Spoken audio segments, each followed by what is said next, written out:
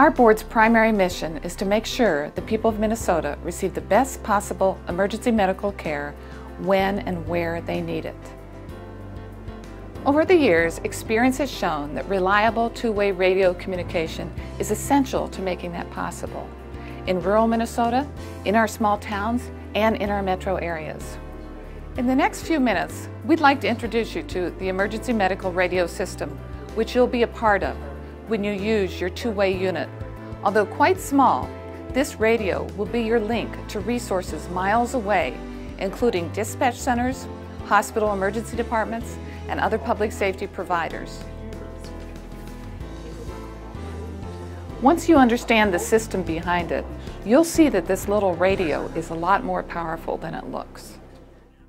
We learned a lot of hard lessons from that September morning in New York City several years ago. Among the most important, the chaos that results when first responder radio systems can't communicate with one another. Although September 11th is the most public example of interagency communications issues, almost any incident in history has brought its own interoperability communications challenges. There have been a number of memorable events involving multiple agencies right here in Minnesota. There have been tornadoes in Comfrey and St. Peter, Maple Grove, and Hugo, to name a few. There was an anhydrous ammonia leak involving a rail car in Lake City in March of 2007. The Cottonwood school bus crash in February 2008. Building explosions. Some of those have occurred in locations like St. Cloud and Ramsey. And of course, the southeastern Minnesota flooding in 2008. The biggest challenge in any event that results in a multi agency response is always communication. This is a result of radio systems not being able to communicate with one another.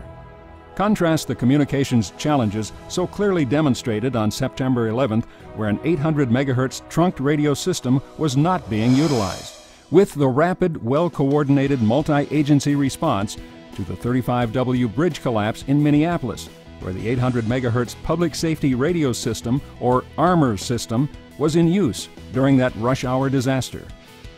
Radio traffic on the Minnesota Regional Public Safety Radio System doubled, but the communications to handle the event still functioned well. The fire department was able to communicate with the police department. Emergency medical personnel coordinated ambulances and were able to communicate with hospital emergency rooms. Despite the confused situation on both banks of the river, first responders were able to quickly put assets where they were needed and achieve control of the situation. The fast response and coordination was made possible by the powerful, interoperable, disaster resistant digital trunked public safety radio system, also known as ARMER. A system like the one you may become part of every time you turn on and use your mobile handheld radio. The Shared Statewide Public Radio System, ARMER, was created to help agencies cope with increasing problems of the current VHF, UHF systems. Those problems have been identified as lack of interoperability, frequency congestion, interference, uneven coverage, and outdated equipment. A portion of the Twin Cities metro region has been utilizing the system since 2002. The ARMER system is currently being built out statewide. This statewide build-out of the infrastructure is proposed to be substantially completed with 75% mobile coverage by 2010 and 95% county by county mobile coverage by December 2012. Regional Advisory Committees, or RACs, comprised of users of the system, and regional radio boards, comprised of elected officials, have been established throughout the state to guide the implementation and integration of local enhancements to the statewide system. The ARMER system is based on an open, non proprietary standard created by the Association of Public Safety Communications Officers, also known as the APCO P25 standard. The system and all subscriber equipment that is requested to be put on the system goes through rigorous testing to assure that it is compatible and meets the high standards of the ARMER system. This technology ensures that the system will not become obsolete. The ARMER system utilizes the most advanced technology to create a system that provides a high degree of availability, thorough coverage, clear and highly intelligible audio, reliability, and enhanced safety for public safety personnel and those seeking emergency services. This added safety is ensured by the knowledge that communications are being confirmed by the permit to talk tone. The permit to talk tone indicates to the user that a communication channel has been secured. In industry terms, your handheld radio is a PTT unit, or push to talk radio. Although you will be communicating on talk groups rather than assigned frequencies, the ARMER system has the capability to leverage both the 700 and 800 MHz band of radio frequencies that are licensed and assigned by the Federal Communications Commission. In Minnesota, the ARMER system infrastructure is owned by the Department of Transportation, which maintains much of its infrastructure. However, the system has layers, and there are local compliant subsystems that make up the ARMER system. Everyone benefits from sharing the resources and infrastructure.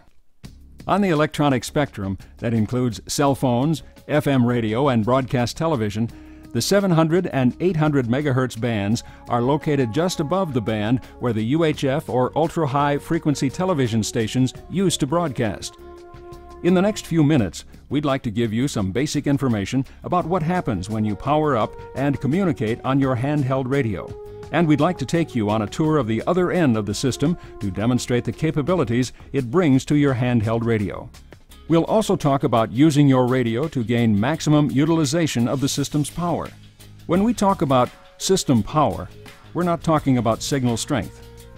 Although it can communicate with portable units throughout its service area and eventually across the state, the ARMER system is powerful because it is redundant, expandable, and is capable of bringing together unlimited combinations of first responder units for clear, reliable, interoperable communication.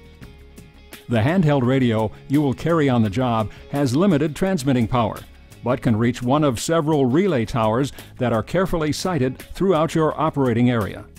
When you key your microphone, your radio triggers a computer based search of available towers, looking for the best signal when the connection is complete, the radio will beep like this, notifying its user that a communications channel is secured and they are free to communicate.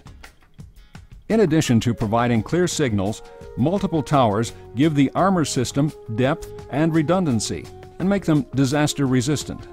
If something happens to one tower, signals simply move to another. In most cases, parallel computer and communications centers further strengthen the system. Unlike older analog radio systems, which put your voice on a modulated carrier wave, your handheld codes your transmissions into digital data packets, keeping them free from static and extraneous electronic noise, no matter where you're located, much like comparing vinyl records to CDs. 800 MHz systems differ from analog radio systems in another very important way rather than operating on a specific assigned frequency or frequencies, which only allows for one user at a time to utilize a frequency, this digital radio system is trunked, meaning all system users share a cluster of frequencies, which are computer assigned when needed. In the Twin Cities metro area, for example, there are 184 channels shared by EMS, police, fire, hospitals, and other users in the seven county metro area. The trunked radio system allows for more efficient communications, as users are not limited by all communications occurring on one frequency. In the event of an emergency situation, such as the 35W bridge collapse, where responders needed to talk to units outside their talk group, dispatchers at a communication center quickly formed new tactical groups to meet the situation. When you key your microphone, your unit connects with a control channel, which then assigns your transmission to an available tower and frequency. With statewide EMS. 803, copy, standby one. When you let go of the microphone button, that frequency goes back into the mix for use by someone else. During a typical exchange between an EMT and a communication center, information is likely to be exchanged on a number of frequencies. We also mentioned that your radio system provides interoperability with other systems in Minnesota and throughout the U.S. Another word for this might be compatibility. Your handheld unit and your 800 MHz radio system are designed to operate with any other similar system in Minnesota. With just a few mouse clicks, dispatchers at your communications center can connect your handheld radio to another unit across town or across the state. 803, your cross patch is complete. The statewide infrastructure build-out plan includes over 300 tower sites spread across the state. Two-car accident mutual aid request by Lakeview EMS out to County Road 8, timeout 2008. Medicating on dispatch, myself and 82 copy the page. These towers talk to each other and relay your voice data packets to the communication center and other units, and transmit return information. Your county may or may not decide to upgrade their current system to operate on the ARMER public safety radio system. Even if your agency does not upgrade to the ARMER system, you will still be able to communicate with agencies that are on the system. This would be accomplished by requesting a patch from the communication center that has the capabilities to patch or link the radio systems together. This is accomplished by a few quick clicks of the mouse. When the patch is complete, the radio system will accept the VHF signal and rebroadcast it on the 800 MHz talk group and vice versa. If your agency upgrades to the ARMER Public Safety Radio System, you will learn more specific information about talk groups from your agency, County Communications Center, or Regional Radio Board. Perhaps the most powerful thing about the ARMER system is that it is forward compatible, or in computer terms, it is upgradable. The system in use in the Twin Cities metro area is eight years old and is easily able to keep up with improvements in technology and needed expansion because of forward compatibility. This software based system can easily accommodate upgrades and will eventually be able to accommodate data. The ARMER system will continue building out into all regions of Minnesota. As this occurs, the Minnesota Emergency Medical Services Regulatory Board believes that these improved communications will enhance the delivery of emergency medical care throughout Minnesota.